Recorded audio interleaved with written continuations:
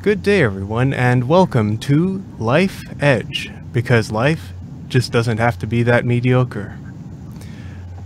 Today, I am filling in for Rick. I'm Harold Muliati, and um, joining us today is our co host, Dr. Susan Nash, and we also have the director of the graduate program of Earth and Energy Resources at University of Texas, Richard Chuchla.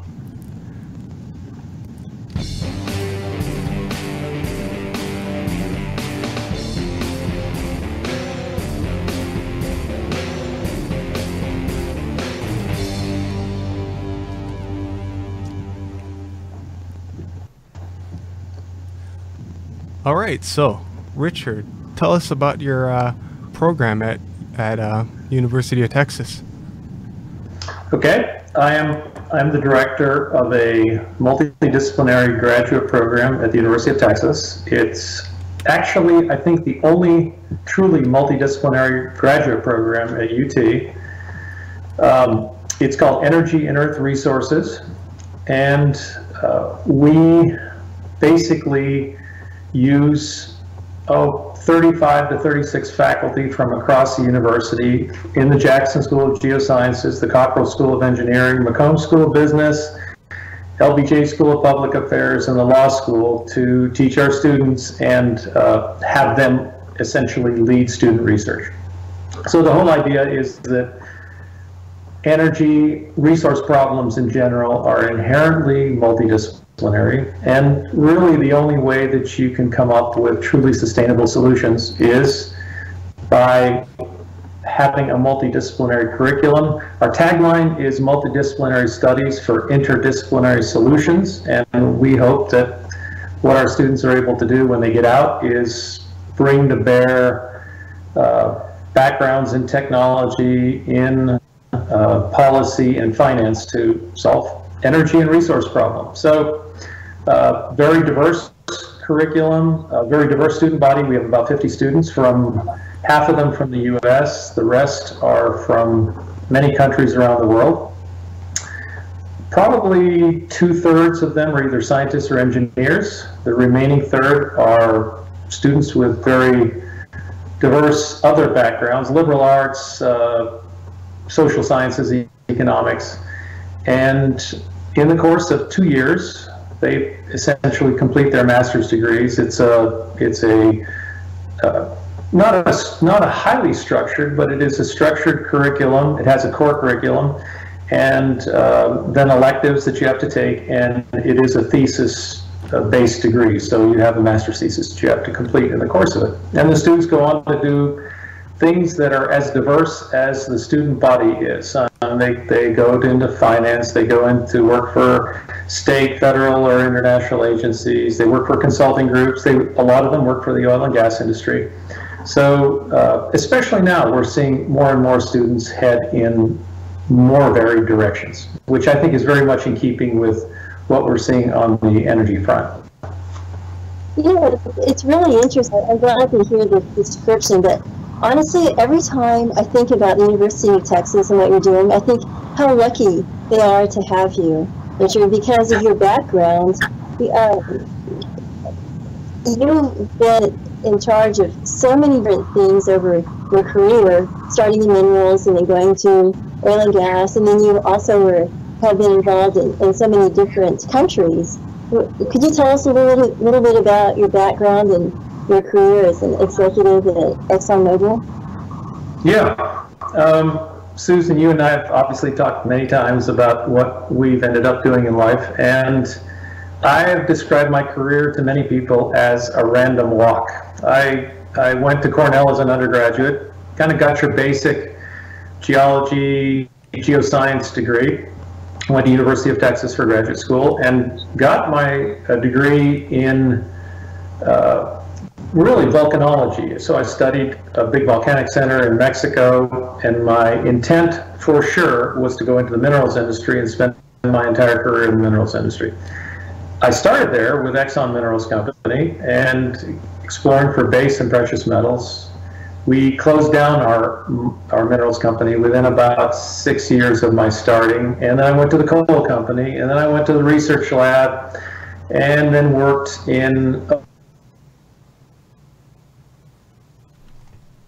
been working basins around the world. So it is. Uh, it's been absolutely fascinating. While I've been based in Houston for much of my career, although many different places within the U.S., most of my career has been working on opportunities, uh, really either in deep water on the oil and gas side, in deep water, or on the unconventional front, and and uh, it's it's been quite it's been quite a ride. I I never would ever want to wave anybody off from career in the oil and gas industry because it's it's very fascinating.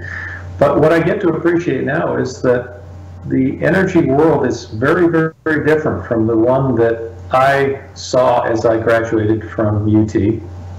And this job really gives me an opportunity to broaden my understanding of energy. So that, that's the very selfish side of why I do what I do. I, am learning a tremendous amount, and I, I, feel it's giving giving me a perspective in energy that I really didn't have before. I, I you know, like you're suggesting, I work basins around the world. I've worked in many different positions. I, I, I, one of my claims to fame, I guess, is I was one of two of the senior upstream strategic advisors to our CEO then, Rex Tillerson. So I've had a corporate assignment as well. But um, nothing that really would have prepared me for what I'm doing now from the standpoint of uh, the other side of energy, which is the renewable side, understanding the grid, doing things that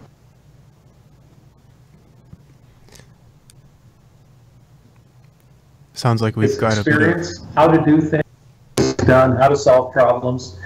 I, I don't think they're terribly different from uh, the oil and gas business to other businesses but certainly the specifics and the science and oh, um, uh, the issues are very, very different. And, and that, I've, I've just really enjoyed that aspect of my current job. Sorry to interrupt you, but you you you got you got uh, cut off by Skype lag right after you started talking about um, renewable energy. Could you uh, okay. could you reiterate some of that stuff? Yeah, well, I, I don't know which where where in my discussion of renewable energy, but really what what I the key point is that while my career really exposed me to a very diverse uh, experience in the oil and gas business, and and really what I would call the energy business at that time. Uh, the energy business today is very different, and so the renewable side of the business is the side that I'm learning a lot about now, and frankly happens to be the focus and interest of a good number of my students. So now I'm, I feel like I'm broader uh, in, in, my understanding of energy, and it, it's given me some perspectives that I think uh, I would not have had otherwise. That's great. So, okay, I have two questions. The first one is uh, an intrusive thought about your volcanology and the fact that there are a lot of earthquakes these days around the Yellowstone caldera, which I find to be exciting. And the second one is that you brought um, your a, power, a couple of PowerPoints that I'd really like to have the audience yeah. see. Okay, well, um, I, I, Susan, I didn't, I didn't hear you very clearly, but um, the volcanology side, of course, it was my graduate education. And, and when I went into the minerals business, it really allowed me to apply a lot of what I learned in school. Um, based, oh, based on my graduate. The, Yellow, the Yellowstone caldera.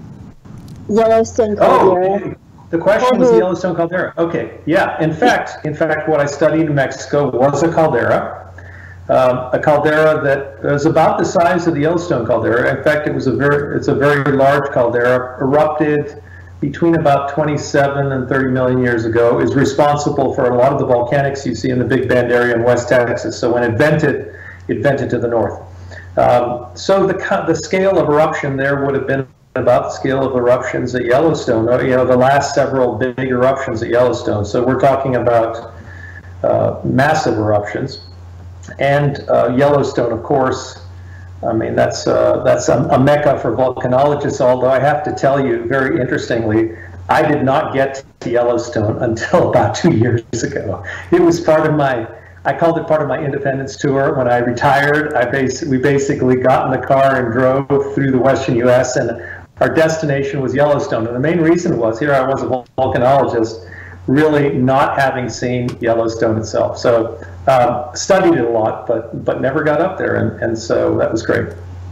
Did you did you go to the parts where the um, the asphalt is melting, and also where the boiling springs um, are like boiling acid?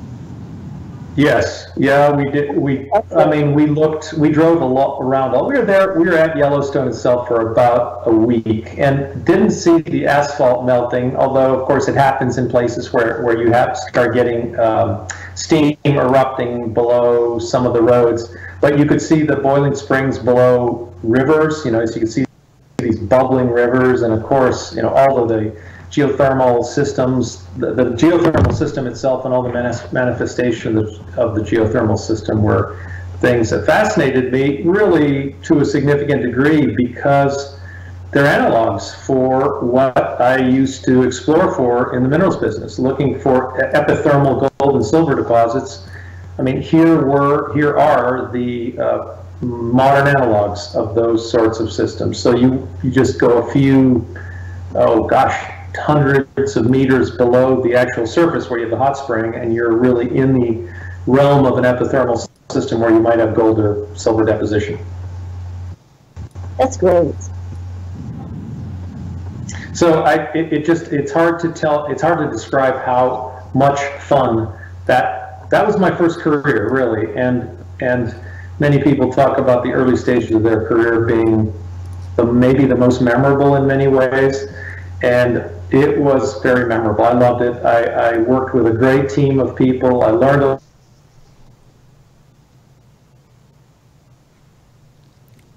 I, you know, we've talked about this before too, but I swore two things when I worked for the mining company, for the minerals company. I swore, number one, I would never go work for the oil and gas side of the business. And number two, I swore that I would never move to Houston, Texas. And, and I ended up doing both. And I'll have to say that the the experience I had in the oil and gas industry was just fantastic. It was fascinating. I, I, I, I loved it. It's just completely different. The only thing it didn't give me was the exposure to field work outdoors, which is really why I became a geologist in the first place. But I, I found excuses to get out in the field pretty frequently, and so I got that part of it. Um, I, I think I was happy enough with. Great. So, um, Harold, do we have the PowerPoints? Yeah. Yeah, I will bring yeah. that up. Okay, so let me let me kind of just this is this is a great shot because a friend of mine, Dave Leary, retired from ExxonMobil last two yeah last year, and he was driving across the Panhandle, and he's kind of become an avid photographer it took this fairly artsy shot. At least I think it's kind of a fairly artsy shot. But I just love, aside from the composition of it, I, I love what it shows. You know, you see a, a, a, tank battery, you see solar cells for part of the control system, uh, uh, uh, producing gas well, and then of course in the background you see these big wind turbines, and it's a picture. A picture says a thousand words, but it's really a picture of what the energy world is in the United States and in many other parts of the world. And and um, again, to, to not to make this point to, too frequently, it's so different from the energy world that I faced as I left graduate school, which, which was essentially uh, fossil fuels, oil and gas and coal. And so here you have uh, here you have renewables juxtaposed with uh, natural gas in this case and some oil production. And I think it really speaks to both the, the, the well, it speaks to the challenges and it also speaks to the great opportunities for um, what I call energy practitioners today. They're, they, are combinations of geoscientists, they may be commercial people, um, they have uh, policy, some of them have policy backgrounds, but they're they're practicing energy and they're having to deal with a whole range of different sorts of solutions and opportunities and uh, their jobs are, are, are very diverse as well and that really speaks to the kinds of graduates that we produce and where they end up going That's great. so Susan you know I don't want I, I what I what I thought about in terms of this presentation was uh, talking about ultimately getting to a description of the program and education, really this kind of multidisciplinary education, but I thought it important to set it in context. So I thought the first thing to do would be to talk a little about the global energy outlook and some maybe interesting aspects about it, and then things that I think are particularly interesting dimensions of the future of energy.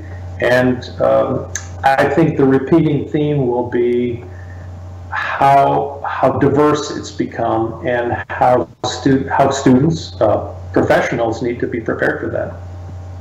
That's perfect. So if we pull up the first slide, I, I think this one's kind of illuminating. All right, the first slide here, this slide is actually from ExxonMobil's Global Energy Outlook, and you can choose your poison. Um, they're not that different, really, the ones that are done well, and I happen to think this one's done very well. It's it's produced by the corporate group, and it's really produced with a lot of external input and careful, careful analysis. And I, I urge people to look at this and then look at others to get a broad perspective. But I think they're not overall terribly different. So What's fascinating about this slide is that it shows that between now and approximately 2040, when, when the point to which this outlook goes, you see a couple interesting things. One of them is that if you look at total energy demand over time, that curve flattens. So the view is that global energy demand over time is, is going to, the rate of growth, it's going to continue to grow, but the rate of growth is going to continue to diminish. And that's, you know, follow the top of the black bar, uh, gray bar, and you, and you see that fairly clearly. Second point is that if you look at the OECD, the, the mature economies of the world, shown in blue, their energy demands from now to 2040 are actually going to be decreasing. And that's a fairly consistent view. So essentially, all of the growth in energy demand, or much, most of the growth, growth in energy demand is have, happening in the Asia Pacific realm. one other really interesting point is that that black line that takes off kind of a third of the way across, probably, I don't have my glasses on right now, put them on, you know, some somewhere around, uh, you know, present day, so 2015, you see it take off and it looks like kind of an exponential curve. That is the projection of energy demand were we not to realize the efficiencies that ExxonMobil thinks we're going to realize in the course of the next 25 years. So it's staggering. It, it is without a question the single greatest source of energy is energy efficiency. And the reason I point to this is because it illuminates one of the areas of energy that many people don't really think about. I, I was a supply guy, supply side guy. In other words, I was looking for supply. However, this is a demand size demand side dimension of energy. These are pe people who work on this side of the energy business or people who are looking for efficiencies and building efficiencies either into cars or buildings or aircraft or, or whatever processes. And so this is a huge energy business today and really students need to think about it a lot. It's, it's not really the way many people think about energy. They're always thinking about where am I going to get oil or gas or how, where am I going to build my solar farms or, or wind farms. But that's part of the story. The other part of the story is where am I going to save energy? Where am I going to be efficient? Now, if we look to the panel on the right, what we see is, I think, a very fascinating story. And that is, you don't see it in this graphic itself, but energy demand is very, very lumpy. Um, if it weren't for China over the last 15 or 20 years, the energy required by the world would be extremely different. And the reason China has experienced this explosion of growth in energy demand and demand for cement and steel and iron ore and all kinds of other things is because of the huge growth of the middle class in China. So the middle class, essentially, it is the producing part of the economy, but it, it is the consuming part of the economy. And so you see that explosion between you know 2000 2015 in China, and then what you see between 2015 and 2040 is continued growth of the middle class in China and an explosion of projected explosion of growth of the middle class in India. So there are the two biggest single pieces that are going to determine so many things, energy demand, CO2 emissions, all kinds of related aspects to, uh, to energy. Uh, just as a point of reference, when you look at China's middle class today, it's bigger than the entire U.S. population. So it gives you gives you a sense of scale.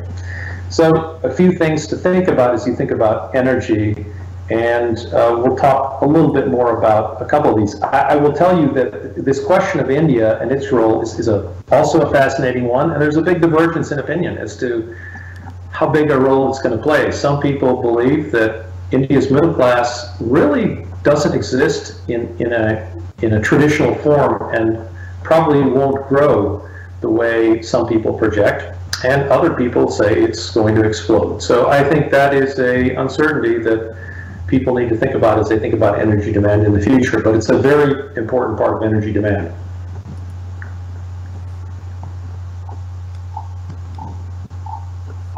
This is very interesting. I think it's an interesting context, and, and I really like what you're saying about the role of, of new technologies and efficiency. Yeah, it, it, it um, there, there, are companies now. In fact, there happens to be one company that supports our program with a generous fellowship called CLEAResult in Austin, Texas. They're a big company, and that's their entire business. Um, they are focused entirely on consulting in the energy efficiency realm of, of uh, the business. And, you know, that is part of the energy business. And, and people really need to think about it. And it's fascinating. It's a uh, commercially interesting, it's technically interesting, and it's, it's so different from the business that I was in. Well, don't you think that one of the big um, change agents will be when we can improve batteries and storage of the um, solar and other renewable energy. Say, Susan, say that again. Uh, the Are you asking about storage aspects? Yes. So the next big step change could be when we get to um, better storage. So when we have yes. like improved yeah. lithium batteries, etc. For sure. So, I mean, there is no question that as you look at renewables today, and we'll talk about talk a little bit about this uh, further on, intermittency is still the the biggest single issue on a on a on a unit cost basis. Wind, for example, is competitive today without subsidies. Um, solar with subsidies is competitive today. But even if you take away the subsidies, the longer term projections are that technology is going to make wind and solar on a unit cost basis very competitive with natural gas. In fact, probably cheaper than natural gas. But intermittency remains a big issue. Now, there are several ways to address intermittency. The best and most efficient way today really is with probably natural gas. The, the, the, natural gas, you can build these fast ramping peakers that um, are about probably 50 to 60% more efficient than a battery solution. But the battery solutions are, are, there, are, are the target, they're in the crosshairs. And so you're probably familiar with the Tesla story in South Australia where, where Tesla delivered their commitment to, to this big battery farm that went along with the wind farm. And it, there are big arguments as to whether it was the most cost-effective solution, probably 50 to 60% more effective, more costly than natural gas. But they were able to deliver it very quickly, and they addressed a key problem that, that people were having there. So yes, long answer to your question, batteries are a enormous piece of this overall equation. Well, and another another one is, and that's one reason I love that photograph uh, is that it shows how hybrid solutions are, are really part of the issue, especially Yeah. in remote locations. I'm thinking Yeah. of solar uh, solutions, solar used to heat steam and, and used in enhanced recovery for heavy, heavy oil, for example. Susan, you, you froze up there for a second, so I missed, may have missed part of what you said. But I, I love the hybrid solution piece of this is spot on. And hold that thought because we're going to look at a, a, a slide that is going to make that that uh, point in space. Are we just going to this next slide here?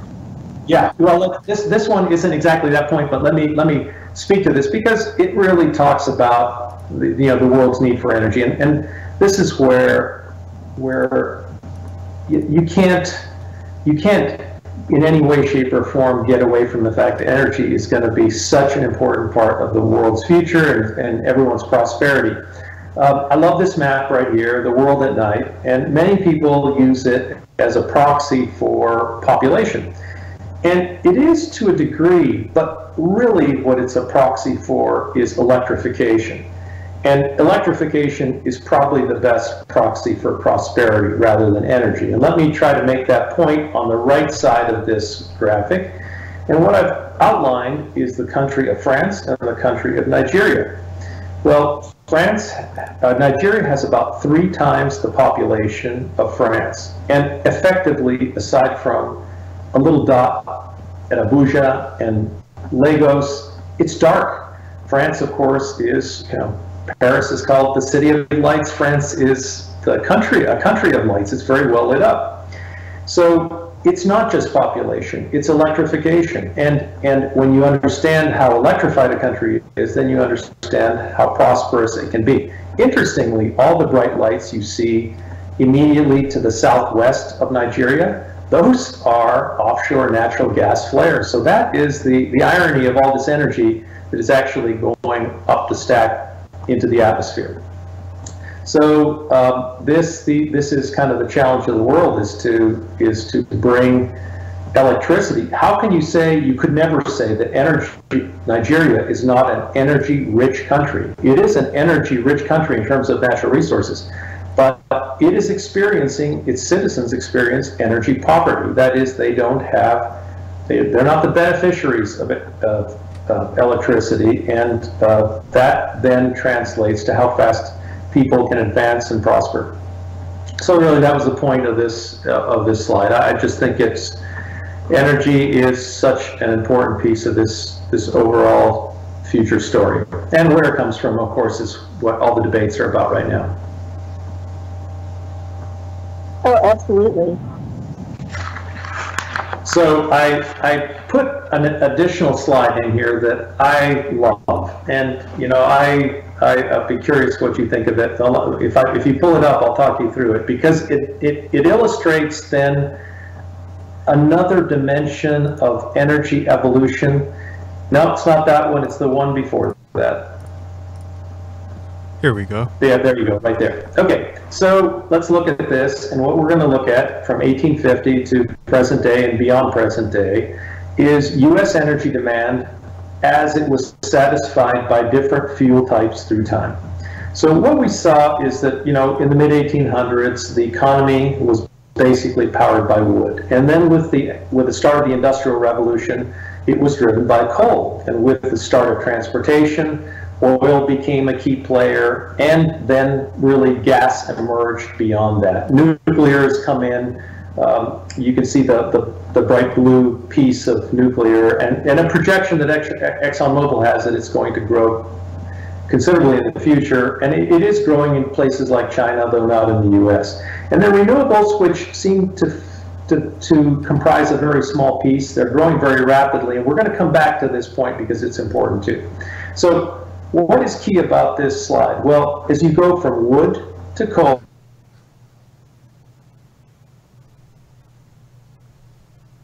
carbon atoms per atoms of, of hydrogen.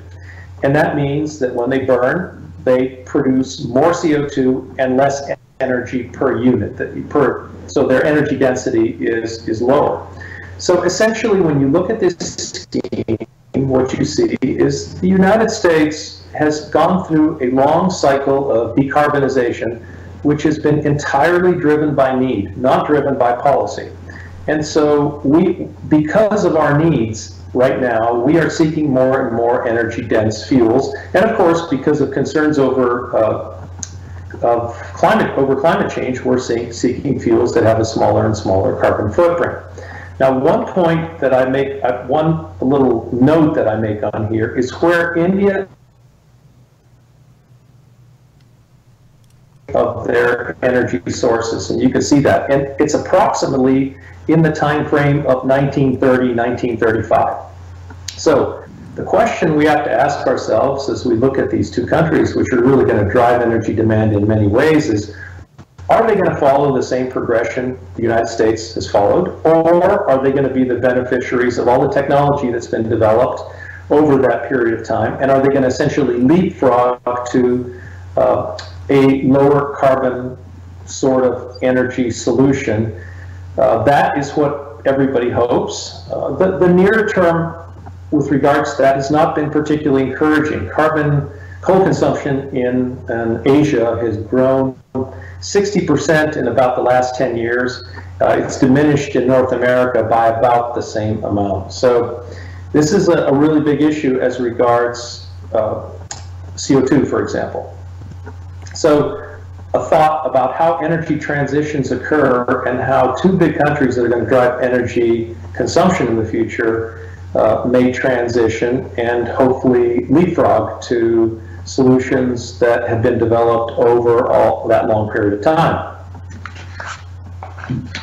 So now, now let's let's flip to the next slide because it shows a snapshot of the United States. And, and let me explain what this analysis did. It was done by the Energy Institute at the University of Texas. And what they did is they looked on a county by county basis at the levelized cost of electricity and essentially the lowest cost solution, the, the, the most technically, fa technically favorable solution for each county in the United States. They did this study looking at um, levelized cost without externalities and with externalities, uh, without considering things like availability, which means where you can do some of these things. You can't build wind farms on on uh, in certain areas. You can't put solar farms in certain areas. So this slide takes into account externalities and it takes into account uh, issues of availability. When I talk about externalities, they're simply recognitions that, for example, if you coal.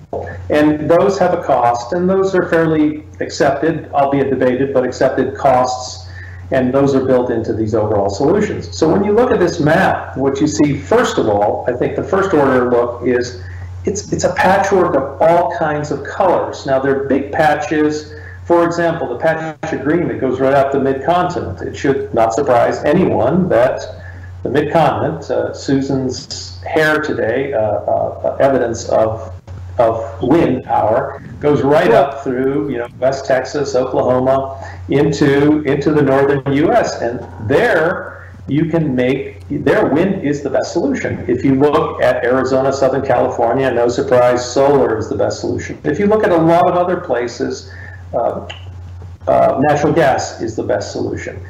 In this study, there was not a single county, of course, when you considered externalities and availability, where coal was the best solution. So coal as a fuel source is, is collapsing under all of its uh, all its deficiencies, in spite of the huge benefit it's provided in moving, oh gosh, the United States, Europe through the uh, Industrial Revolution. Okay, so you sit back and look at this, and what you say to yourself is, gosh, as energy is concerned, there are all kinds of different opportunities. It could be wind, it could be solar, it could be natural gas, nuclear may play a bigger role, but it's not uh, the, the more simple picture that, that I would have confronted as I looked at the United States. So this is a mature economy with a mature energy economy. I'll, I'll call it that. And this is Oh, this is to where China and to where India will ultimately evolve. And one one will imagine one might imagine that the, the different parts of India and China respectively will look for the technologically best solutions. And they will be considering of course unit costs of power. They'll be considering externalities at some point as well. You know people in Beijing are not happy about the amount of smog although that's not a CO2 issue as much as a as much as it is a particulate issue so a, a perspective really on the diversity of energy supplied in a very mature economy. You'd, you'd see the same thing in Europe and really speaks to why, if you're going to go into the oil and gas business, you darn well better understand what the wind business looks like or the solar business looks like because that's your competition. You're going to be going head to head. And in fact exactly that's happening in the power business right now. Is is natural gas is going combined cycle natural gas is going head to head with wind and solar. And wind and solar are achieving very large gains in terms of providing power to the new economy. So just a, a, perspective I think that requires all energy practitioners to have a pretty broad view of energy. Well, we are about at the end of our time, but that these are some really interesting um, perspectives and research on uh, what what's going to be driving the energy industry in the future. And um, we always ask one question of our guests on Life Edge, and we'll be probably closing with that question. The question is. Sure. What is the one thing in your life that you feel has given you an edge? There, that is a really easy answer. Um, a, a just passion for learning. I, I, I can't, I can't describe how much I enjoy that aspect of it. And that's really, I think, a lot of the reason why I feel very fulfilled doing what I'm doing. Um, it, it, can be really simple. I, I can be, I can be stuck in my mind on an issue that I'm dealing with and it's in front of me all the time, but I really don't understand it. You know, it's one of those kind of nagging things. You're doing it, you're kind of going through um, going through the motions, you're using this knowledge, but you really don't understand it. Then all of a sudden you learn where that crystallizes, and all of a sudden you have a deep understanding of something that you were doing but you didn't really want to acknowledge you didn't understand very well. So that's just tremendously satisfying. And uh, as you look at energy in particular, if you are not committed to continuously continuous learning, you are going to be obsolete in no time.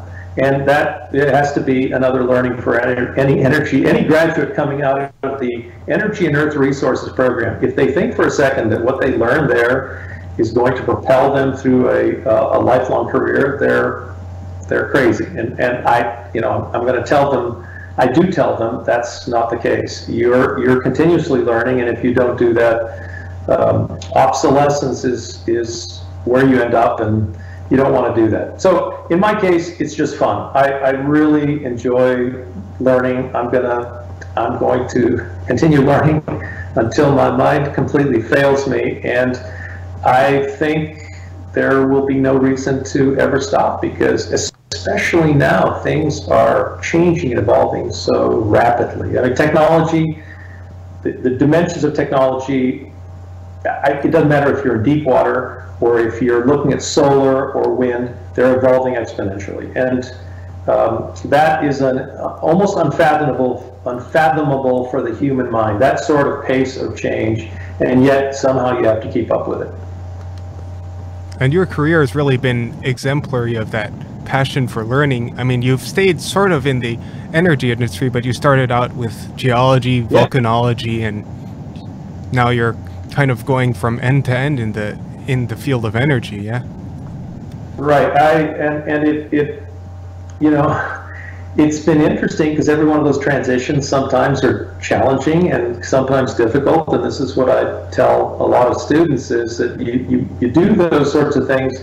You have to embrace the challenge because it's going to be Uh, you're not going to be the smartest guy in the room right off the bat, and I don't consider myself the smartest guy in the room in any area because I'm humbled by how many things I, I have yet to learn. But it's really embracing those sorts of learning challenges that, that then get you kind of up to the next level, and then you have to look for something else. And in my case, I've almost been thrown into successive opportunities where I've had to learn. Um, it, a lot of it hasn't been through planning. It hasn't been through my own kind of planning, personal planning or design. It's just happened, and it's been it's been great. Great. Well, that's where being receptive is so important to and, and identifying the opportunities. It's very much um, a way to live and an inspiration. Yeah. Thank you, Richard. Yeah. Agreed. It, it, it is, and it's well. I mean, if it weren't fun, then I guess if, if learning weren't fun for me, it is. If it weren't fun, then maybe it, it wouldn't I wouldn't want to do it the way I want to do it, but it is fun, and so uh, it's it's really not an effort. It's just kind of part of who I am and uh, who I hope I will be for for the rest of my life. That's great. Yeah, so you're you've really been about learning, and now you're you're teaching, so you're allowing yeah. others to learn. Right. And so now I get to now I get to share what I've learned. And the interesting thing, of course, is it's not like somebody in my position gets to sit back and pontificate about all the things I've learned because a lot a lot of the things I've learned are wrong and obsolete. I, I talk a lot about unlearning. I mean, you you I have had to unlearn a lot of things. And you can't learn new things unless you unlearn unlearn things that you were taught that were flat out wrong. And, and as I transition from conventional resources to unconventional resources, I just can't tell you the number of things that I've had to unlearn. I can't tell you the number of things I've been told unequivocally were a certain way and are not. And and that's that's what my job is in part two is learning with the students and, and I think that then provides an example to students of what I think they should aspire to if they want to be successful scientists or business people or policymakers. Well, thank you, Richard, for coming on our show. And uh, I think this has been a really eye opening overview of the geographical and historical context of where, where we are today with uh, energy in the world. Great. Thank you. I, have I've enjoyed it, and uh, I will look forward to future conversations with lots of people, certainly including Susan. Yeah. Well, thank you. And we will uh, we will link to to the page for um, Richard's uh, graduate program in the description, so you can check that out if you want to look look more, look into more about his research. Um, thank you for joining us, everyone. This has been Life Edge, and we will see you next time. Okay, thank you. Bye bye.